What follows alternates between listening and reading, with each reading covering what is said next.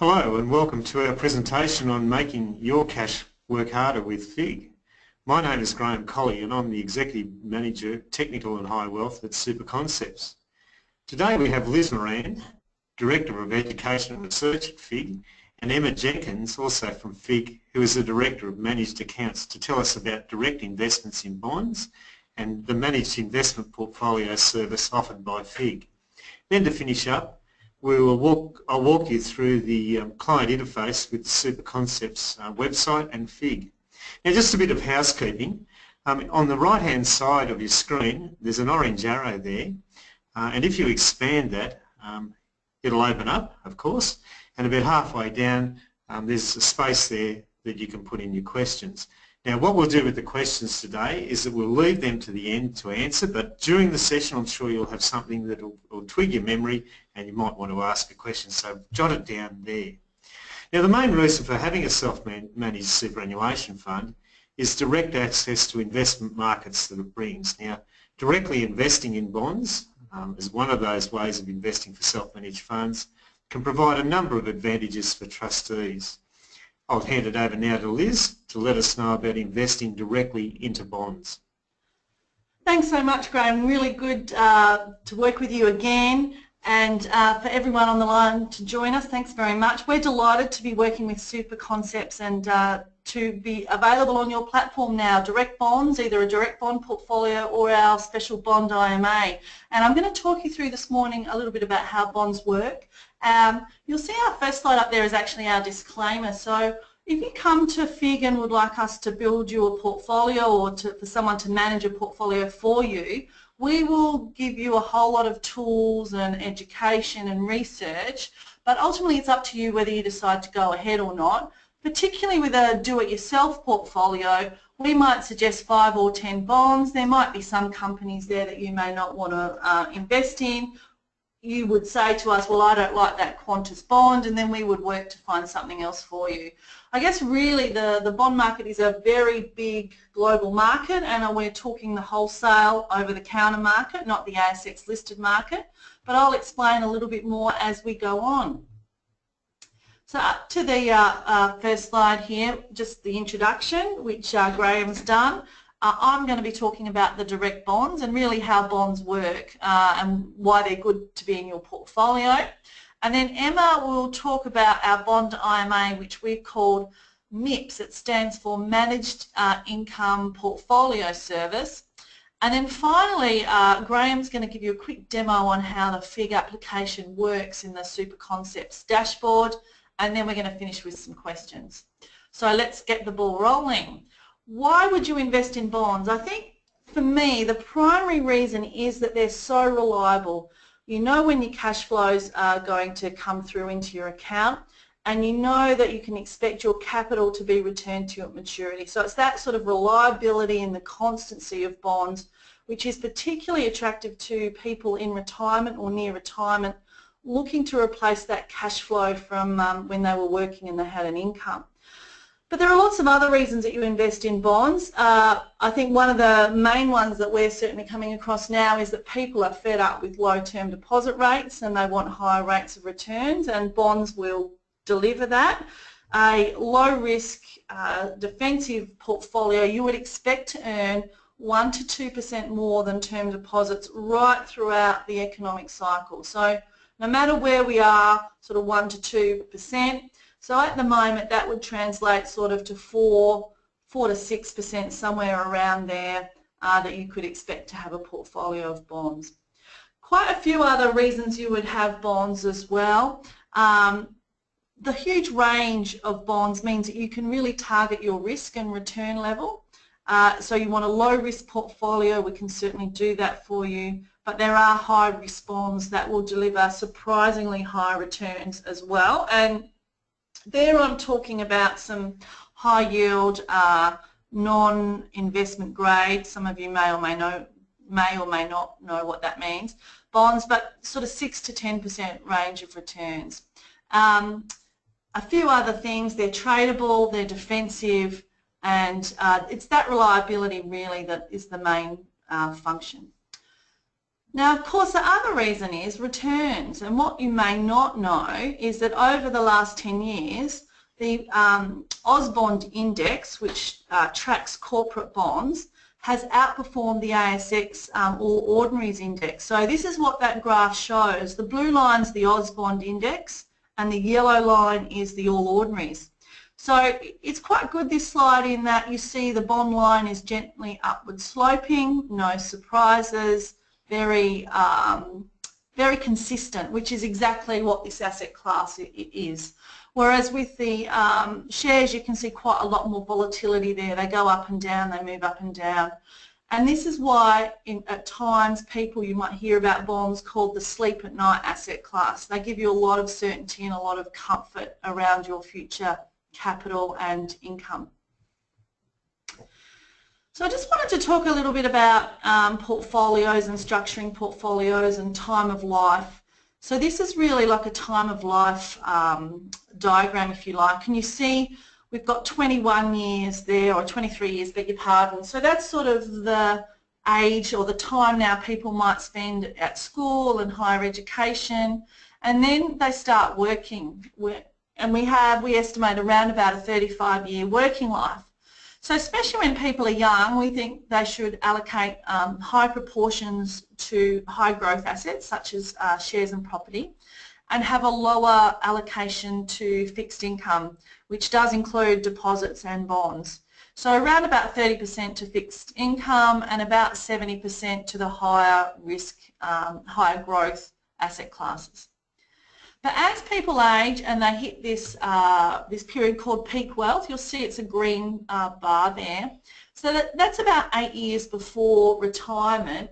We think then um, that people should be starting to transition and make their, their portfolios more defensive because of course you don't have time to recoup losses. You don't have a 30-year working life ahead of you. You're building that nest egg you know, so that you can rely on it and live well in retirement, live the way that you want to. So we think about that time you should be starting to think more defensively and increasing your allocation to defensive assets being uh, deposits and bonds. So about a 50% allocation there. And then you'll see you hit retirement.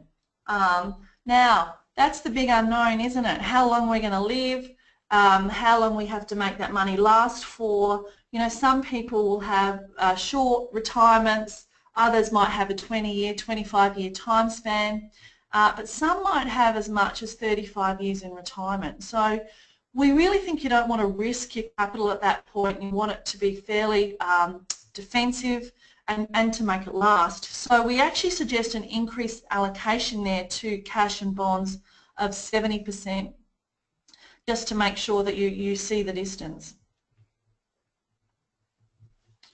So what, what are corporate bonds? A corporate bond is just a loan. You lend your money to a company and in return they agree to pay you interest on a set date and they agree to return your capital at a set date. So the legal obligation nature of a bond is what gives us a lot of comfort. And you can see there on the, on the slide quite a lot of logos. So all those companies issue bonds and um, many more.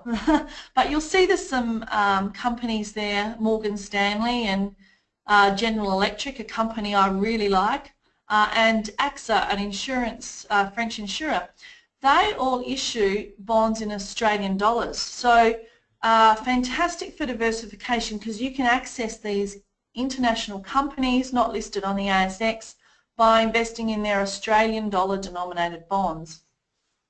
So it really highlights just how big uh, the market is and uh, in Australia um, roughly the, uh, the bond market is double, double the size of the share market and that is true globally as well. So it's a very, the bond market is a very big market and the um, ASX listed market is a small component of that. The much larger component is the wholesale over-the-counter market and that's really what we're talking about today. Uh, a couple of other things I just want to mention. Um, there was a study a few years ago by the um, OECD on pension fund asset allocation and they looked at 29 countries, all their um, asset allocation from all the big pension funds and Australia had the lowest allocation to bonds of about 9%. Um, but the average across all those countries was about 52%. So you can see how under um, allocated uh, most, most Australian um, investors are into bonds. Really important. And part of that is just because you may not know about the asset class or have been, you know, know how to access it. Um, but the other other part of that is um, uh, we, we are just uh, underdeveloped. So uh, and SMSFs as a part of that have even a, a much lower um, allocation of about 1% to bonds. So how do bonds differ from shares? As I mentioned there, that legal obligation and the companies have to pay you interest and they have to pay you capital. So you can think of yourself as the banker, you're lending them the money. And, and that's a really good way to, to think about it. Whereas with a share, you're an owner. So you're investing um, hoping that the company will grow, the, the dividend will grow and the, the share price will grow, but there's no guarantee that, that either of those things will happen and um, you would be aware, of course, of a couple of companies recently having to cut their dividends. BHP cut by a massive amount, I think it was about 75%. ANZ also cut. So there isn't that guarantee of income. Whereas with bonds, there pretty well is, is if that company that's issued the bond continues to survive, you're going to get your income and you'll know what that'll be. So quite a big difference. Now, if you're interested in bonds, what I say one of the key drivers is, is that is the company going to survive? Is What's the survivability of the company? So if the company is going to survive for the five years that you hold the bond, you'd be a pretty com comfortable investor in that company. Um, whereas the key driver with shares, I think, is really growth. So you're comparing survivability versus growth. I think survivability is an easier metric. And of course bonds have that, or they are that legal obligation. So a few things you might not know about the, um, the bond market. The Australian uh, market is worth, we estimate, $1.2 trillion. It's a huge market. And the largest issuer is the Commonwealth Government, they issue about $410 billion, um, quite, quite large. All the states and territories also issue bonds and of course corporations issue bonds and that's really where we focus on here at FIIG, the corporate bonds and uh, there's about, I think there's about 350 uh, billion dollars of corporate bonds out there. So one of the other things about bonds you may not know about is that they're tradable. So once they're first issued, uh, people buy at first issue and then they start to trade. So there's buyers and sellers. So you don't have to worry about a long term to maturity with a bond because you can sell it. Um, the other thing too, because they trade, much like shares, and the prices will go up and down, you can make higher than expected returns. So we might quote you a, a 5% return on a bond, but if uh, for whatever reason the price goes up, you might have some capital gain as well as that 5% return. So there are the is the opportunity for high returns. Of course, there is also the opportunity for loss, uh, and that is that the price goes down just as they go up, they can come down from when you first bought it. And the second way is that the company goes into default, so they, they can't pay their uh, creditors anymore, which is a very, very unusual event in Australia uh, and very low risk still, but important for me to mention that is one of the key risks. So with this wholesale over-the-counter market, what FIIG have done, what we've done is take traditional parcel sizes of bonds, which were $500,000, really not available to the likes of you and I, um, and break them down so that you can now access uh, bonds in $10,000 parcels and it's a minimum of $50,000 um, upfront if you want a direct bond portfolio through FIIG. There's quite a few misconceptions out there and there's a lot of noise at the moment about don't buy bonds, now it's not a good time. Um, there's the bond rout and bonds are crashing. So what a lot of those commentators are talking about are US government bonds. So in the US we have new President Trump who's going to spend a lot of money and there's a, an expectation that interest rates and inflation will rise. Of course, he hasn't got any of his policies through Parliament yet, but you know they're, they're, they're, hopeful that he will, and that will happen. So very low, um, low yielding government bonds, and these some of those bonds are yielding close to zero percent, or quarter of a percent, or one percent. With that expectation of higher interest rates, they're expecting that the prices of those bonds will come down. So, you know, not a good time to buy US government bonds. I can confidently say none of our clients are in US government bonds. Uh, we, we're dealing with corporate bonds and it's a different, it's a different market. But they are talking, those commentators are talking about fixed rate bonds and that's the very first type of bond on my list here. So fixed rate bonds, and I, I'm just going to go back one step, pretty well all bonds are issued with a $100 face value. And fixed rate bonds have a fixed rate of interest that cannot change throughout the life of the bond. So some years ago, Stockwell, no not Stockwell, Stockland, beg your pardon, Stockland um, issued a bond, a fixed rate bond that paid eight and a quarter percent. But you can imagine that as interest rates have come down, that bond's become very attractive because that cash flow will be paid regardless. And so the price of that bond has risen up to about $120 now. So you can see the price is adjusted because of the, of the lower um, interest rates on offer. So if interest rates start to reverse and go back up, the price of that bond will come down. But that's the beauty of those bonds. They're very protective in a low interest or low interest rate environment and they give you absolute certainty of return. The second type of bond is a floating rate bond and just as the name suggests, the interest paid to you goes up and down uh, throughout the economic cycle. And Emma actually refers to floating rate bonds as three-month term deposits. So every three months um, you get a, a, a, new interest rate for the coming three-month period. So these bonds are particularly um, attractive if you're thinking interest rates are going higher. And the third type of bond is an inflation-linked bond, and these have a sort of a special place in people's portfolios, I think particularly in retirement, because inflation is one of those big risks that, um, you know, it's been a while since we've seen 10% uh, annual inflation rates, but they have been here and they completely destroy value, especially if you have a, a fixed uh, amount in retirement. I think it's very important to protect against inflation.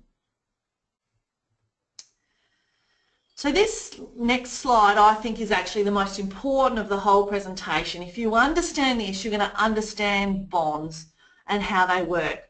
So what it shows is a simplified bank capital structure and it's the priority of payments and liquidation. So if a bank goes belly up, who gets paid out first? If you're at the top of this ladder, you get paid out first and you have to be paid out entirely before the next steps paid out and so on and so on. So as you move down that structure you're taking on more risk and because you're taking on more risk you expect higher returns. The structure also works in reverse so that if as the, the bank's being wound up there's losses the level at the bottom, the lowest level, the shareholders take the first loss. So they wear the first loss position they have to be wiped out entirely before the hybrid owners um, lose any money and so on. So I'll just very quickly describe to you the sort of the terms and conditions. The top um, covered or senior secured bonds uh, have specific security. So in the case of the banks, it's 8% of their mortgage loan pool. Uh, very, very low risk here. Typically issued for five years, these uh, bonds can be fixed or floating. Um, but they are actually have the same sort of um, credit risk as the Commonwealth Government. So really low risk uh, investment. Then we have term deposits where you know your interest rate again and you also know the maturity date, um, very low risk. Not, there's no specific security within a bank for um, term deposits, but there is that government guarantee. Then we have senior secured bonds and that's sort of the most common level in the capital structure where bonds are issued. Again, typically five years, can be fixed or floating, uh, you know your interest rate and you you know when you're going to get repaid. The fixed rate bonds pay half yearly interest and the floating rate ones pay quarterly. And then we move down to subordinated bonds and they're junior. You can see they're a level lower in the structure and they have what's known as a call date after five years. So typically first call after five years when the issuer of the bond can repay you but they're not obliged to and then there's a final maturity date after about 10 years. So because there's that possibility of a longer term to maturity, you're taking on more risk and so you expect higher returns. Then we jump down to hybrids, which are a beast unto themselves. I've read many of these prospectuses. If you've got them, please get the prospectus and read it. They're all different. Even to, uh, to recent hybrids by ANZ are very different in their clauses. So hybrids have call dates. Um, if their call dates aren't met, they then become perpetual, which means there is no maturity date. And typically when that happens, the price of hybrids falls uh, quite a lot. Hybrids also have this term called non-cumulative. They're non-cumulative, which means the uh, banks don't have to pay you interest or the distribution. They can forgo it entirely. They never have to make it up to you. So quite different to bonds where the companies must pay you interest. Um, there's a few other clauses there. I'm not going to dwell on them today. Uh, of course, the final one is shares, where there is no guarantee of income and there is no maturity date. You have to sell and take the price um, at maturity. So that really highlights some of the key differences between bonds and shares. Bonds are lower risk in the same uh, company. They are that legal obligation and you do have a lot of certainty compared to if you're investing in the shares. So I wanted to show you what happened here in, you know, during the GFC. So I'm taking a, I've got my glass half full cap on, looking at the worst possible outcome.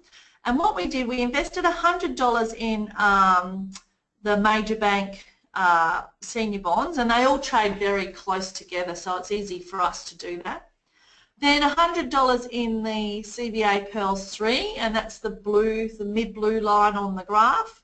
And then finally, $100 in the um, shares of CBA. So we've added back all the um, interest payments and we've also added back franking on the shares.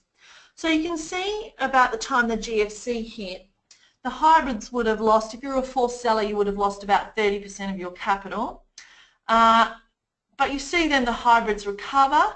Interestingly, they never actually you know, meet the bond uh, in terms of total return.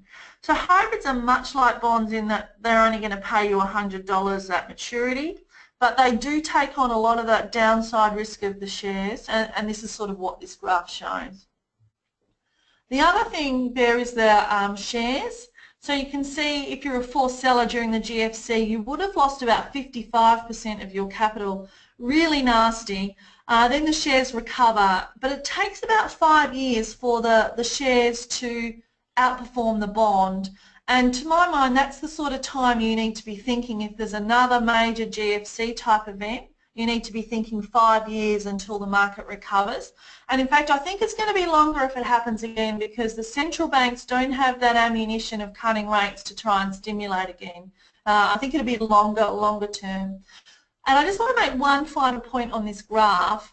I've been an analyst for many years and looked at many companies globally. And if I look at the ASX uh, 200, to my mind, the Commonwealth Bank is the lowest risk company there. So this is what happened to the lowest risk company.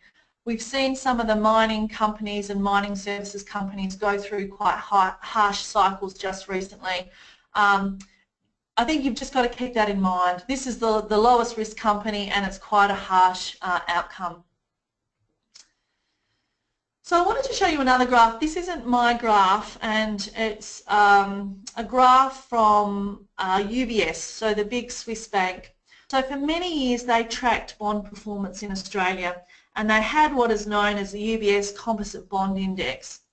Uh, but what happened a few years ago is they sold that index to Bloomberg and so the data is no longer available. But I wanted to show you this graph because it's 24 years um, so it's comparing the bond market again to the um, ASX accumulation index. And it just gives you that sort of that longer term view. And you see the pale blue line there is the uh, is the um, um, the uh, UBS Composite Bond Index. Again, gently upward sloping, not many surprises. Interestingly outperforms the shares. You can see it outperforms for quite a number of years. That was because there was a high inflationary uh, point through there and um, governments issue inflation-linked bonds and those inflation-linked bonds and high-paying government bonds really outperformed over that period. But if you follow the uh, share line, it gets that beautiful big spike, which is why we all invest in shares. You know, myself and all my colleagues at FIIG, we all have shares. So you see you get that lovely spike, but then it goes down, and then it's up and down, up and down, up and down, and it finally finishes up. So over the sort of the 24-year period of this graph, um, the uh, shares return about 10.5%, which is exactly what my university lecturer told me, you know, years ago, 10.5% from shares.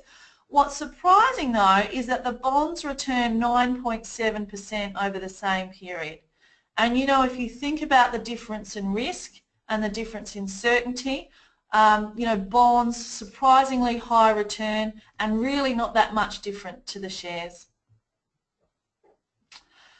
So if you're thinking about bonds, what's the best way to include them? We think investing direct is best, uh, and I won't go into that today, but you have control then, you know what you're invested in, you're not invested in government bonds, which a lot of managed funds and exchange traded funds do invest heavily in government bonds. But there are two ways here at FIIG. You can have a direct bond portfolio where you have total control. You decide what companies are, are appropriate for you and we help you do it. There's a lot of um, expertise here. We have a lot of uh, education and research to help. But you do need to invest quite a bit of time yourself in getting to understand the asset class a little bit better and just reading uh, you know, our research reports on the many bonds that are available. You can also buy foreign currency bonds, so in US dollars or sterling or yen. So if you had uh, that sort of um, need or want to hedge or you had a US dollar account sitting there earning next to no percent, that might be uh, best for you. But the other um, program or the other way is an individually managed account and this is a new service we started providing this year and it's for wholesale only clients um, there's a number of different programs, four different programs, but the returns to date have been really impressive just in the six months. Uh, and hats off to our portfolio, our experienced portfolio manager uh, who's had many years doing in that role. Um, but I'm not. I'm going to hand over to Emma Jenkin now, who's going to talk you more through that individually managed account. I think it's something really worth considering. Great, thank you, Liz. Um, you, Liz has done a great job of um, talking about the benefits of bonds, so that makes my job much easier, which is talk about the benefits of overlaying a manager. So what we're doing with an IMA is we're taking a direct bond portfolio, which means all the bonds are held in your name, so it's still very transparent and you can access your coupons, and we're overlaying a professional management team. So that team makes all the decisions on your portfolio, which makes it convenient and simple for you to have a diverse bond portfolio and access that important income stream. The bond markets, there's a lot to know about managing a bond portfolio. There's interest rate exposures, how much fixed rate bonds, how much floating rate bonds, views on inflation, and that professional team does that all for you. So they look, they manage all the companies, um, company exposure in your portfolio and they think about what is the appropriate interest rate exposure through the cycle. So really it gives you peace of mind that someone is managing your portfolio at all times it's really important also to know there's real scale benefits. So this is, the bond market is still very much an institutional market. And so what MIPS can do, which is the IMA, um, our Managed Income Portfolio Service, it can aggregate all the smaller parcels across individuals' holdings and bring them together to get better pricing in scale for investors and pass that through. And what that um, equates to better returns for you, the investor. The active management, I think, is, is important wherever you are in the economic cycle, but certainly with very low interest rates, the portfolio management team is both managing your portfolio for risk, but they're also looking for opportunities. And in this institutional bond market, we often see those in new issues or what we call primary issues. And you, um, the portfolio management team may have a day or two to decide whether they go into your portfolio. Uh, and that's something that they're able to assess, get access to the new deal, and then put it in if they think it's appropriate. And that's something you wouldn't be able to access directly yourself. Um, you may not have time or the access or be able to get the um, volume and scale that they can because they act on your behalf. I think it's really important to understand who's managing your money, um, who the team are behind MIPS. Um, Kieran Quain is the head portfolio manager. He heads up MIPS. He has been in the fixed income markets for over 30 years and he's responsible for all the decisions around managing all the portfolios under the four programs. He's been at FIIG for over seven years and he's got a lot of experience in that high yield market and he's been the head of, formerly the head of risk and the head of syndicate for, for those high yield deals.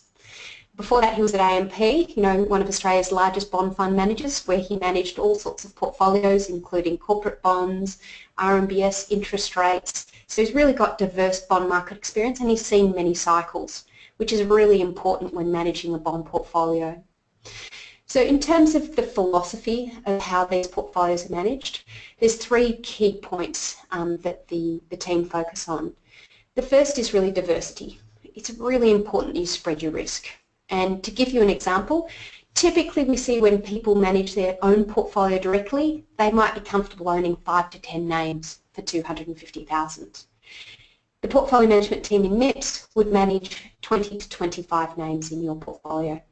And they can do that because they've got scale, it's a team, and they've got experience in both the names, the corporates that are issuing the companies, uh, issuing the bonds, but also in the bond markets and how to access and manage that risk and how to put the portfolio together.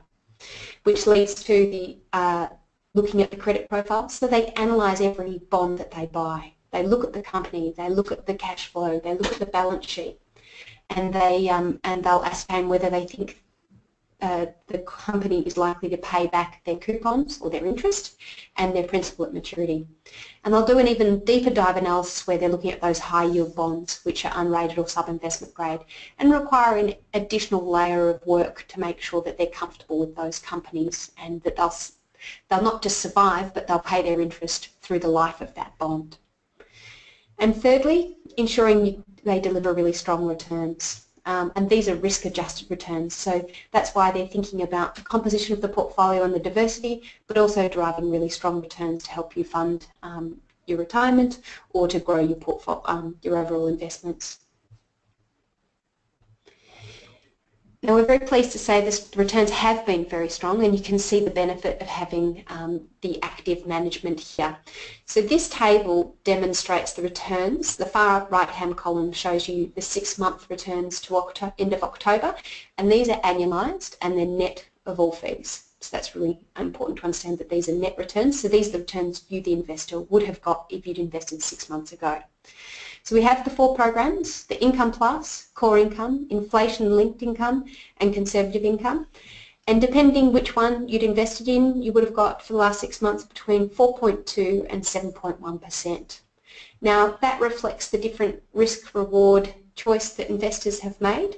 And I would say we predominantly see um, high net worth individuals looking at the income plus and um, the core income. So the income plus is returns the highest, 7.1, and that's commensurate with the risk profile of that program. The core income is a bit more conservative. It's got a higher allocation to investment grade only bonds, and that's returned a very strong 5.8. And the inflation linked program has returned 4.2%, which in this very low inflation rate environment is a good return as expectations have really been decreased. And it's one of the few ways that you can access a pure inflation hedge. Um, so as you can see, the benefits of the active management over direct bond portfolio are really the peace of mind um, that someone is managing your portfolio, looking to improve returns, uh, and also the transparency and the access to income. And the, I think these returns demonstrate that a portfolio manager can help you optimise your investment in fixed income. Now I'll hand back over to Graham. Yeah, th thanks Emma. Um, Yeah, look, um, one thing I was thinking about when you were talking and also with Liz was um, the importance of, um, with self-managed superannuation funds, the operation of the SIS legislation and the need to have uh, an investment portfolio because part of that, you need to be able to consider the place of diversification within that self-managed superannuation funds investments. And bonds certainly complement that uh, investment strategy. So when you're thinking about your self-managed superannuation fund, I think you need to think as bonds as something that complement and uh, balance the um, returns on your investment, both from a risk point of view and also the yield associated with it. Now to finish off our session, um, let's have a look at uh, the interface uh, to access the FIIG website. And um, if you have a look at the member dashboard that you've currently got on your screen there, um, and you go up to Add Services, which is on the left-hand side there, and I'll just click on that. And hopefully it'll come up. Now, there's the Add Services screen, and if you then scroll down, um, so you just go down here, you'll come across FIIG. Now, that's around about the middle of your screen at the moment. There's a whole range of other in, uh, in investments and financial products that uh, you might want to be involved in, but we're just looking at the FIIG um, bond um, access at the moment on their website.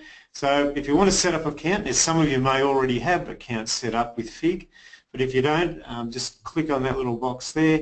And there's a couple of questions which we're required to uh, required to answer under the uh, statutory requirements. Uh, and so what are you going to do with the, uh, your overall wealth? So maybe put down investment income there.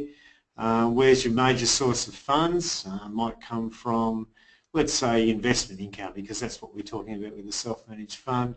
And what's going to be the purpose of the account? So maybe building wealth because that's what we've been talking about today. So if you then go into that, um, we should be right for that. Um, get some, go into that. Okay. Go down to the bottom, I beg your pardon, um, a bit green on this. Go down to next, and then we come up with the fee schedule there. So if you go into that and have a look at the summary of charges relating to the, the uh, accounts, you can see the fees that would be charged. So we then click on that, and then we go through to the next part of it.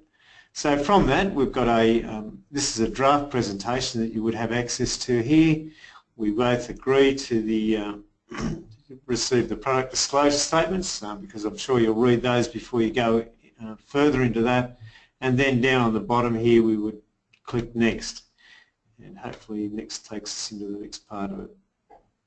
Now what have I done here?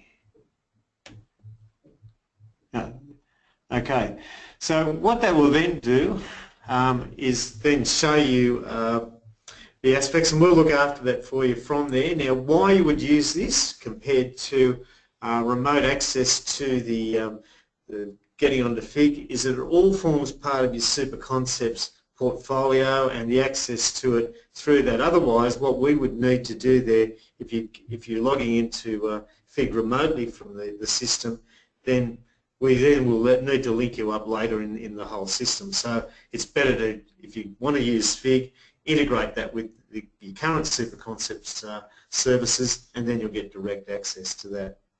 So now it's over to you. Uh, if you've got any more questions that you might like to ask uh, about today's presentation in investing in, in bonds, and um, let's have a look at that. Yeah, uh, we actually surprisingly don't have any questions. So either we've done a really good job or you're perhaps not sure how to use it. So that little box down on the on the right hand side, if you just click in that, you can type them into us and um, we run quite a few webinars and we're used to lots of questions, so don't be shy. I'm just going to talk you through a little bit about uh, what what you can find at FIIG. We have a, a website, fiig.com.au. Uh, the Wire is our main newsletter and I think um, really worth having a good look in there. You can type in the name of the company and see our research or if you're particularly interested in education you can go to the education tab and uh, uh, click on that and that will show you a whole list of articles you can read about. And of course you can phone us. There's our 1-800 number. We'd be very happy to talk you through or chat to you, whatever question you might have. Um, really happy. We do have a couple of questions, which is fantastic. So Shane's asked, can I get a copy of the presentation recording? I'm sure that we're going to do that, Shane. Um, so we know some of the people that registered couldn't be on the, uh, the call today, so I'm pretty sure we will get that out to you. Ron has asked the minimum amount required for the managed bond investment and is it open to all? Emma? That's a great question. Um, the minimum investment size is 250,000 and it is only available to wholesale investors. There are, I'm just going to talk a little bit about the fees, and that's the nasty word, but I think it's really important because with bonds, it's not like direct bond portfolio, most of our fee is in the buy-sell spread. So you know when you go and you have a foreign currency, you want to go to New Zealand, you'll see a buy-sell spread on the currency in the bank. Bonds work a lot like that. So the returns we would show you on a direct bond portfolio are what we would expect you would earn and we've taken a small margin out, uh, out of those buy-sell spread. And there is, uh, for direct bonds, there is a, um, a custodial fee account uh, charge. Um, but Emma, do you want to talk a little bit about the managed um, bond fees? Bond, bond account? So there's four programs and um, one of the programs, which is the Income Plus, that has a management fee of 0.85% and then the other three programs have a management fee of 0.65% and there's also a custody fee as well which is the same as for the direct bond service. Um, so all those fees are contained in our um, information memorandum as well so you can see those there. So there's no, but there's no fee up front and there's no exit there's, fees. No, there's no upfront fees and no exit fees. And there's also no performance fees. So if we outperform, it all comes back to you. It's not, we're not taking a chunk of that. So uh, I think that's pretty important as well. So we've got, um, Merv's got a number of questions for us. Hi Merv, thanks for joining us. He asks, is the 7.13% return on the income plus, is that capital and interest? Yes it is, it's both. Um, it, that reflects the total return which is made up of both the coupon or the interest payments and any capital appreciation or depreciation. Great. And Merv also asked about liquidity in the secondary market. So Merv, this market is huge and um, typically uh, most of our bonds are, are, very, I'd say very liquid. You know, you're looking at um, a sort of a trade plus two day type turnaround. Some of the bonds um, will be less liquid, particularly in stress markets. So the higher risk ones, you know, it might take us a while to sell in a stress market. You might have to lower your price if you want to sell quickly. But typically those that are investment grade, low risk, um, are very easy to sell. Now at the moment there's a huge demand uh, in, uh, from our client base for corporate bonds and we actually just have trouble getting the bonds. So you might decide you might like a Qantas bond or a Sydney Airport bond and we might say we'll put your name on a wait list and it might take one or two weeks to, for us to source that bond. That's sort of our role as the bond trader to source the bonds if people want to buy or to sell on, on, on their behalf. Okay, so there's a couple of other things, a couple of other questions here. Um, Brian's asked where do we find the fee structure for the FIIG service? The button on the application screen only shows super concept fees for fund admin. I think we will come back to you, Brian. It's um, certainly through FIIG we can tell you what the fees are uh, and our website should provide you with some more information. But I will make a note and come back to you on that one, Brian. Um, and Ron asks, when you say wholesale investor, do you mean a sophisticated investor? Yes. So that's, that's that was an easy question, Ron. That was that's a straight yes. Um, now, this is we're coming to the end of the presentation here. If you have any um, further questions, I'll give you a minute or so to type them in. If not, we will definitely make, I'm going to say, I'm going to put my head out there and say we'll definitely make the presentation available so you can listen to it again or you can share it with someone you think might be interested. Certainly the FIIG website and our Wire newsletter, you will find a lot of information in there. Uh, but I would suggest you could come back to um, SuperConcepts or the FIIG team and we would be delighted, nothing more would delight us to help you than to help you set up an account. I think it's great on, you know, from FIIG's part that um, SuperConcepts recognises that need for diversification and, and, that bonds do play a, a, very good part in diversifying your portfolio. And I thank you Graham for your comments in that regard. And um, we don't have any other questions, so I think on that note we might say good afternoon and thank you very much for um, joining us. I hope you've learned something. Do you want to ha- have a final word, Graham? No, I mean, thank you for, for listening in and thanks for those questions. They've, uh, they're certainly uh, good quality questions and uh, hopefully we've been able to answer them for you. Thanks very much. That now concludes the presentation. Thank you for joining us. Uh, good afternoon.